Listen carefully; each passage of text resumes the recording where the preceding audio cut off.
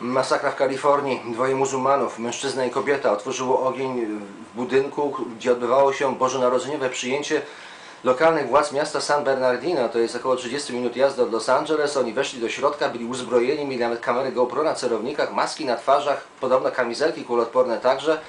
Otworzyło ogień do bezbronnych, nieuzbrojonych ludzi, którzy znajdowali się w środku. Mm, Strzelali przez 30 sekund, skończyły im się magazynki, wystrzelali wszystkie magazynki, przeładowali, otworzyli ogień ponownie, zabili 14 bezbronnych ludzi, 17 osób jest rannych, wyszli z tego budynku, wsiedli do samochodu i pojechali w kierunku swojego domu, jak się teraz okazuje. Policja ich zauważyła, otworzyli do nich ogień, zginęli. Mm, W ISIS, pół świata dalej, powiedziało, że to są nasze dzielne lwy, że jesteśmy z nich dumni, hashtag Ameryka płonie. A prezydent Stanów Zjednoczonych Barack Obama powiedział, że wszystkiemu jest winna broń, że miał akurat wywiad dla CBS-u, powiedział, że w innych państwach do takiej sytuacji, takiej strzelanie nie dochodzi. Czytaj, broń jest wszystkiemu winna. Moja ocena tego jest taka. Kiedy się słucha tych relacji, kiedy ja słuchałem te relacje, kiedy się one odbywały z godziny na godzinę, to się troszeczkę ma się wrażenie, jakby to było w latach 50. w Polsce, że trzeba czytać między wierszami, żeby się dowiedzieć naprawdę jak jest. Więc słucham tej relacji, która się dzieje na CNN, na, na Foxie i mówię sobie, coś zaczyna mi się tu nie dodawać powoli, dlatego że oni mówią, że było spotkanie bożonarodzeniowe, ponieważ to był budynek wynajęty. W polskich mediach do dzisiaj jest napisane, że to była strzelanina w ośrodku dla niepełnosprawnych. Poczytajcie w TVN, ośrodku strzelanina w ośrodku dla niepełnosprawnych, no bo to wiadomo, że niepełnosprawni się wystrzelali pistoletami, naprawdę.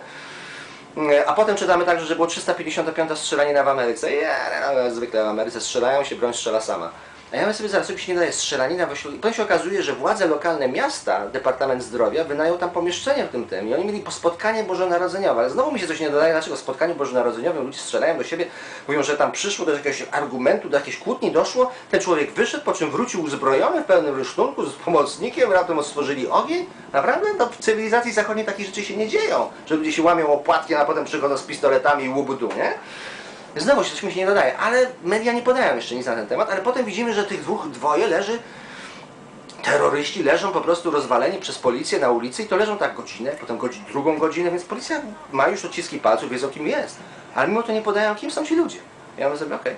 I słuchamy teraz na, na, na, na krótkofalówkach policyjnych, ponieważ tak to działa, że dziennikarze tam lokalni słuchają na krótkofalówkach policyjnych, co, o czym policjanci mówią. Wtedy pada nazwisko, Said Faruk.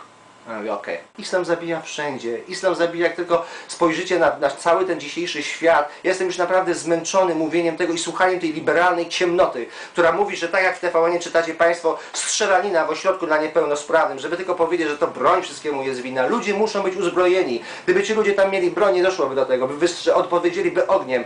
Ale oni, zauważcie, nie strzelali tam na ulicy, gdzie się mogli być trafieni, tylko poszli do ośrodka dla niepełnosprawnych, tam gdzie było spotkanie władz miasta, gdzie władze miasta nie będą miały broni. Oni wiedzieli doskonale, muzułmanie wchodzą tam z tą bronią, wchodzą dlatego, że wiedzą, że będą mieli łatwy cel i Ameryka powinna się bronić, świat zachodni, cywilizacji zachodniej powinien się bronić prawem do posiadania broni. I powinniście to prawo mieć tak samo w Polsce, dlatego że jak islam zabił w, w Paryżu, islam zabił w Nowym Jorku, islam zabił w, no, w Los Angeles, tak samo islam zabije kiedyś w Warszawie.